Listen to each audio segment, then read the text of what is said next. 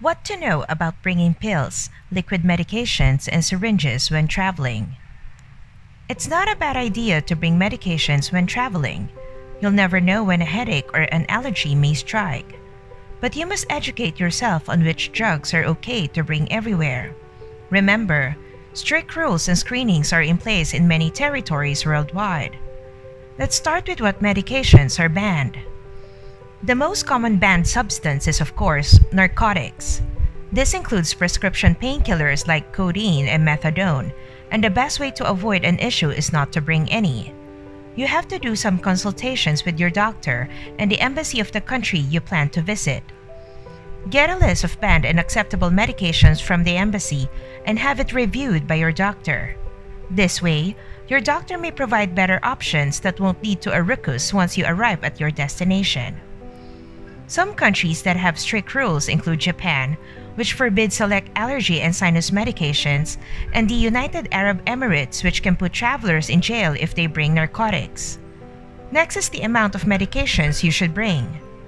Dr. Julian Klapowitz of Travel Medicine Consultations told the Points Guy to prepare for a month's worth of your medications. Don't forget to bring the prescription for each drug, so security won't have major issues.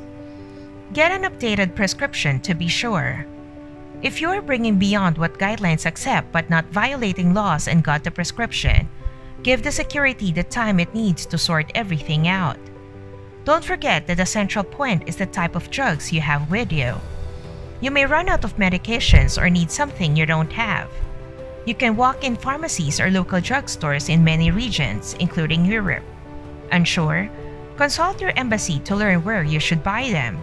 Sometimes, drugs are only made in liquid form or with syringes, and you can't leave them behind if you have a chronic condition. What you can do is declare these products, especially those that require syringes. Planes don't allow sharp, pointy objects, and so do your preparations. It's advised to have a complete set of documents prescription, doctor's note, and the declaration form.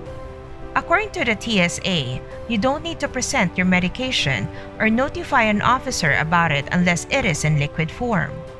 TSA noted, Medication in liquid form is allowed in carry on bags in excess of 3.4 ounces in reasonable quantities for the flight. Don't forget to mention the officer of your liquid medications before the checkpoint process starts. You don't want them to accidentally spill the products. Have you brought medications in liquid form or with syringes during travel? How's your experience at the screening area? Share your thoughts in the comment section. Till our next video, thanks for watching.